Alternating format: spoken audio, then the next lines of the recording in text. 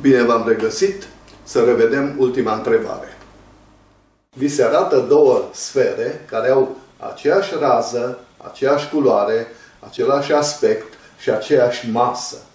Dar există totuși o deosebire între cele două sfere, o deosebire legată de interiorul lor. Și anume, una dintre ele are un gol de formă sferică, așa cum vedeți în desen.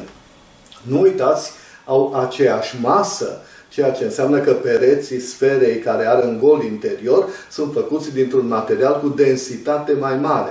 Și mai înseamnă că nu puteți afla care este sfera plină și care este sfera goală folosind un cântar. Trebuie să aflați totuși care este sfera plină și care este sfera goală, să le spunem așa, fără să le distrugeți, evident.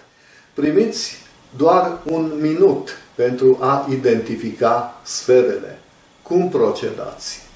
Răspunsul este legat de noțiunea de inerție. Inerția este tendința corpurilor de a-și păstra starea de mișcare, adică de a nu-și modifica viteza fără acțiunea unei forțe. Cu cuvinte mai simple, dar mai sugestive, este încăpățânarea corpurilor de a nu se pune singure în mișcare și de a nu se opri singure, adică de a-și păstra starea de repaus sau de mișcare. De câte ori un corp se pune în mișcare, există o forță care îl pornește, nici un corp nu pornește singur. Și de asemenea, de câte ori un corp se oprește, există o forță care îl oprește, nici un corp nu se oprește singur. Această proprietate a corpurilor se numește inerție, iar măsura inerției este masa. Cu cât un corp are masa mai mare, cu atât mai greu este să-l punem în mișcare, adică să-l accelerăm, și cu atât mai greu este de asemenea să-l oprim, adică să-l decelerăm, adică să-i aplicăm o accelerație negativă. Ceea ce am spus până aici este valabil pentru mișcarea de translație, adică mișcarea în care toate punctele unui corp se mișcă pe traiectorii drepte, cam așa. Dar corpurile se pot și roti, de pildă așa. Pentru mișcarea de rotație, echivalentul inerției este momentul de inerție. Acesta ne arată cât de greu este să imprimăm unui corp o mișcare de rotație sau cât de greu este să-l oprim din mișcarea de rotație. Am arătat în cursul de aplicații momente de inerție, cum se calculează momentul de inerție pentru o bară, un cilindru și o sferă. Cei interesați pot găsi linkul în descrierea acestui videoclip. Important pentru noi acum este că momentul de inerție al unui corp depinde nu doar de masa lui, ci și de modul în care este distribuită în spațiu această masă.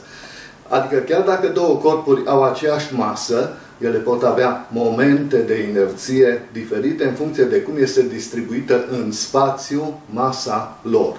Corpul cu mai multă masă mai departe de axa de rotație are momentul de inerție mai mare.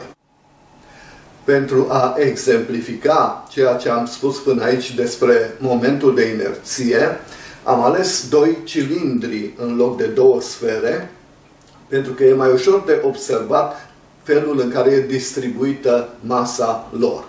Vedeți aici doi cilindri cu aceeași masă, unul din lemn, plin, și unul din metal, în formă de inel deci cu un gol interior. Dar nu uitați, cei doi cilindri au aceeași masă. Și deși au aceeași masă, adică dacă le punem pe o balanță, balanța va fi în echilibru, cilindrul metalic are un moment de inerție mai mare, deci e mai greu de pus în mișcare de rotație, pentru că are masa distribuită la o distanță mai mare de axa de rotație decât cilindrul din lemn. Și pentru că este mai greu de pus în mișcare de rotație, la rostogolire pe un plan înclinat, el va rămâne în urmă față de celălalt. Să vedem. Să mai vedem o dată cu încetinitorul. Același lucru se întâmplă și în cazul sferelor noastre. Sfera goală, având un moment de inerție mai mare, fiind deci mai greu de pus în mișcare de rotație, ar rămâne în urmă rostogolindu-se pe planul înclinat față de sfera plină.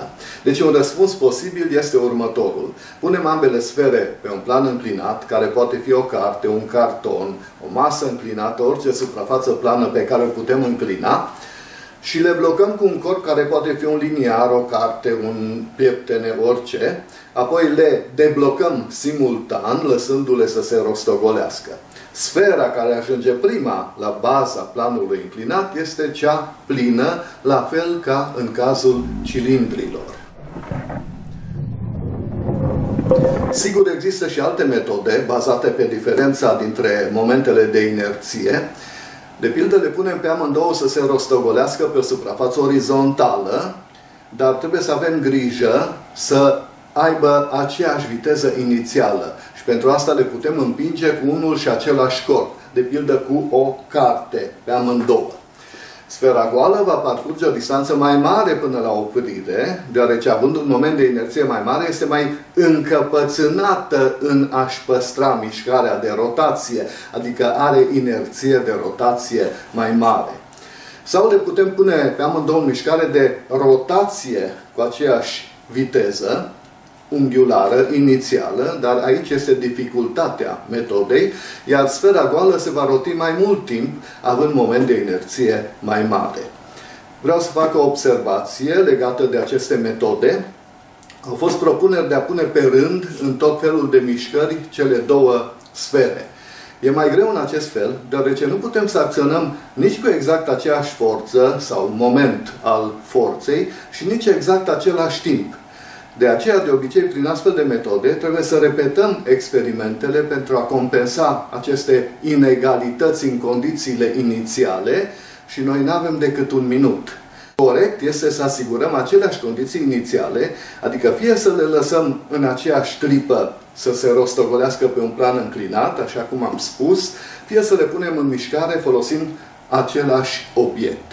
Deci, dacă vrem să comparăm momentele de inerție, trebuie să avem grijă să asigurăm aceleași condiții și interacțiuni inițiale. Au fost propuse, de asemenea, și metode care se bazează pe alte proprietăți. Unele ar putea funcționa, altele nu. De pildă, metoda sunetului produs la lovire, adică să ascultăm sunetele produse de cele două sfere atunci când le lovim cu un obiect dur.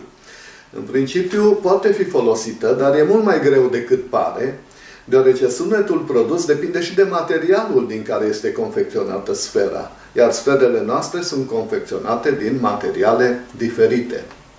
Metoda flotabilității, adică felul în care plutesc sferele. Această metodă nu ne poate spune care sferă este plină și care este goală, deoarece felul în care plutește un corp depinde doar de densitatea lui.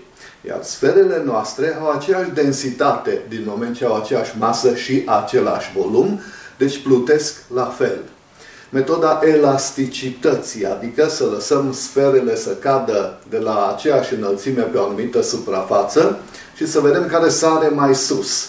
Din nou, metoda nu ne poate spune care sferă e goală și care e plină, deoarece proprietățile elastice depind și de materialele din care sunt confecționate sferele. Metoda termică, ea se bazează pe felul în care se încălzesc sau se răcesc sferele. Nu merge, deoarece căldura specifică depinde de material. O metodă interesantă și originală a fost propusă de domnul Dumitru Antonie, metoda pendulului gravitațional, adică să folosim sferele pentru a obține două pendule gravitaționale cu aceeași lungime și să comparăm perioadele lor.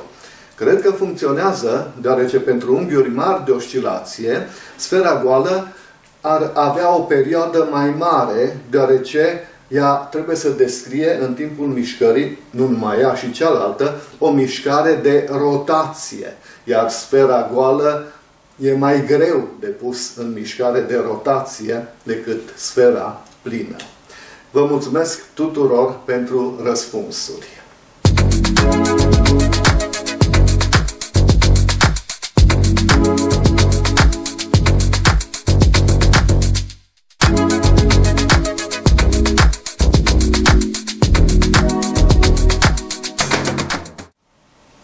Pentru azi o întrebare legată de probabilități, dar nu vă speriați, știu că, în general, uh, întrebările legate de probabilități sunt mai dificile.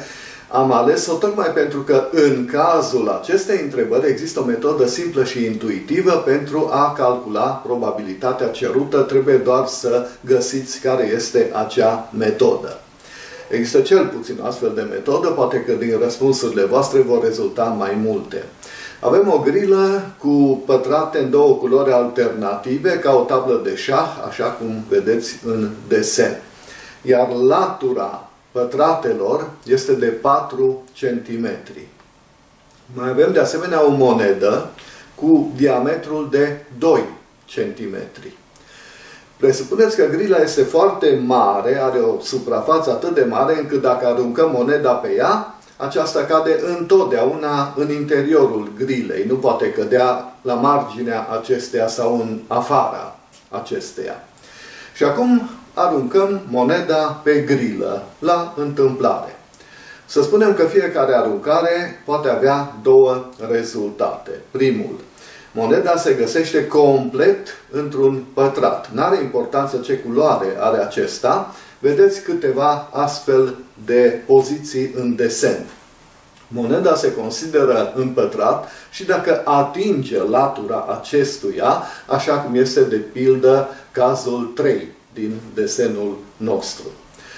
Al doilea este acela în care moneda acoperă zone din două sau mai multe pătrate. Sau altfel spus, cade pe liniile care despart pătratele. Puteți vedea trei exemple în al doilea desen. Iar întrebarea este, care este probabilitatea ca moneda să cadă într-un pătrat? Sau cu alte cuvinte, să nu cadă pe linii. Vă doresc ca de obicei succes pe săptămâna viitoare.